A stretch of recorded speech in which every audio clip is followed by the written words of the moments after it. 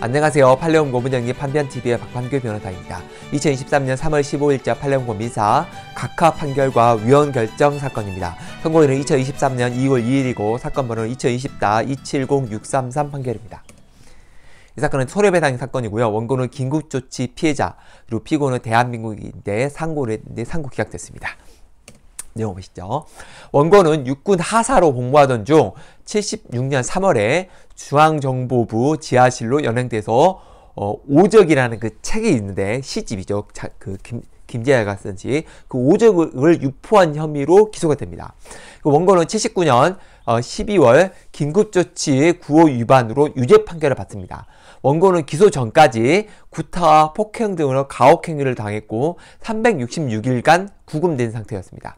원고는 2005년 9월 민주화 보상법에 따라 생활지원금 1,450만 원을 받았습니다. 원고는 2013년 3월 재심을 청구해서 2014년 8월 3일 재심 무죄가 확정됐습니다. 근데 원고가 2013년 9월에 국가배상 소송을 제기를 했는데 민주화 보상법의 당시에 따라서 재판상 화해 성립으로 간주가 돼서 소각하 판결을 받고 어, 2018년 5월에 확정이 돼버립니다. 근데 그 이후에 이후에 이 어, 재판사 화해 성립 간주라는 민주화 보상법이 위헌 결정을 받게 되죠. 그래서 위헌 결정을 받는 2019년 2월 22일 날 다시 국가배상 청구 소송을 제기한 상태입니다. 문제는 이거죠. 2018년 8월에 헌재가 민주화 보상법상 정신적 손해에 대해서 재판상 화해 간주 조항을 그 조항, 규정한 것은 위헌이라고 결정을 하니까 그러면 그 전에 그 전에 이 재판사 화해 간주 조항에 따라서 어 그 소각하가 됐던 이 판결을 받은 사람이 다시 이 위헌 결정 이후에 국가배상 청구소를 하게 되면 종전의 소각하 판결에 어떻게 영향을 받는가 이게 문제가 되는 겁니다. 대법원은 뭐라냐면 위헌 결정은 대법원의 법원에 대해서 기속력이 있다. 각하 판결로 확정, 각하 판결에 대해서 확정된 소송 요건의 흠결이 보완이 되었다.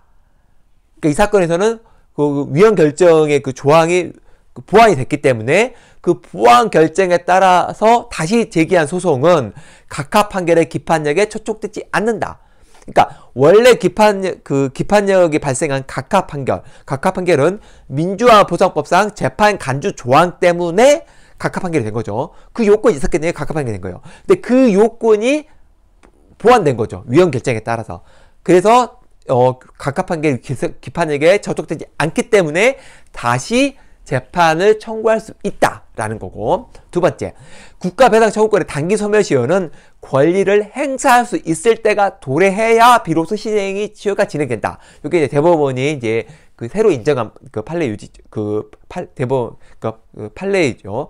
그러면 각하 판결 이후에 위헌 결정으로 소송 요건이 보완된 상태에서 이 사건 소가 제기되었으므로 그때부터 권리를 행사할 수 있다. 따라서 소멸시효가 완성되지 않았고 결국 이 사건은 2019년 8월에 다시 신청했지만 2월에 했지만 결국 위자 청구 인용돼야 하는 게 맞다라고 해서 원고 승소 판결한 겁니다. 그러니까 이, 이 경우는 이제 각하 판결이 있다 손 치더라도 소송 요건의 흥결이 갖추어지면 다시 소송을 제기할 수 있다라는 거고 위헌 결정으로 비로소 소송 요건 흥결이 보완된 것이기 때문에 그때 그 위헌 결정 이후에 다시 소송을 제기할 수 있다는 거죠. 결국 긴급조치 피해자에 대해서 위자료 청구 소송에 대해서는 당분간 가능할 것입니다. 그러니까 종전에 이런 그 재판 간주 조항, 그 화해 간주 조항 때문에 소송을 포기했던 사람이라 하더라도 다시 청구할 수 있다라는 거죠.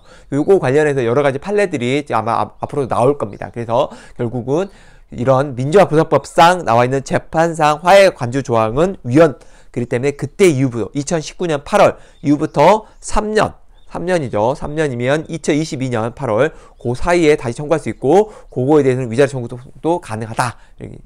이상 마치겠습니다. 감사합니다.